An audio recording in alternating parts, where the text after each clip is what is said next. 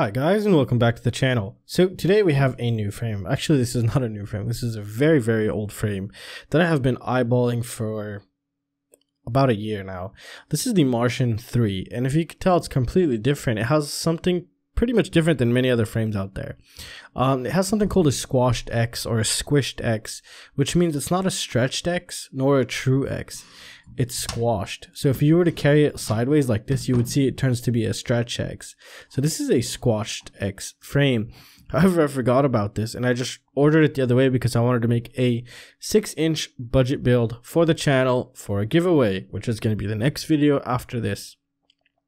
Now, you know, I wasn't going to make this video, but then I remember it was a squashed X, and um, yeah, I've never really flown a squashed X before, and I believe the squashed X is what won the multi-GP the other day, if I remember correctly.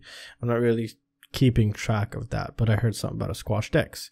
Anyways, so this is a cheap squashed X. This is a 6-inch actually. This is the Martian 3. It comes in a 5-inch, and I think it even comes in a 4-inch, but this is the 6-inch version. Um, it does have an unbelievable amount of rigidity. I, I really I couldn't believe it. Um lately I've been getting like fifty dollar frames and um they bend more than this, you know, and this thing is only held really together. It's kind of weird actually if it's put together. Look at this little extra piece here. This is supposed to be for your battery strap as I believe because you know there's really no way to mount your battery here. So this right here would act as your battery strap and then these pins or sorry these screws would actually go down here go through all this, go into this part, it reaches about there, and you have this little screw here that just holds that into place. And surprisingly, it's holding pretty damn well. Uh, something to take note of, the Realacc frames here, is their screws are not the best screws that they provide. They do tend to strip under pressure.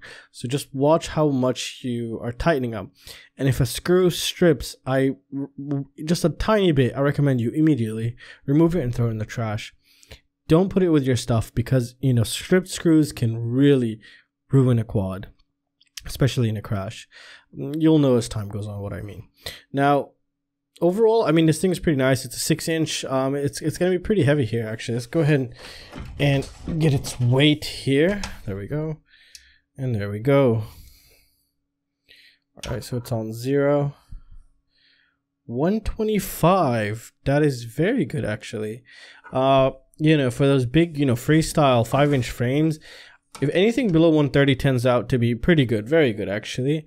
Um, lighter the better, obviously, but for freestyle, this is actually very good with all this stuff here. So we could actually even reduce weight if we remove this guy, remove all those four right there, add nuts instead of them, and we should be good to go. However, as you noticed here, I don't have the camera plates installed, but I'll be placing them in very soon.